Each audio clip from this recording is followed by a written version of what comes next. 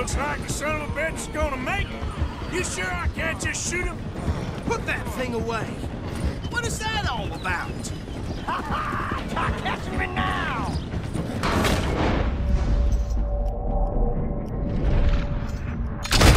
Put that gun away now! Ooh, that must have hurt. Leave him. Stay with that train. The train is slowing down to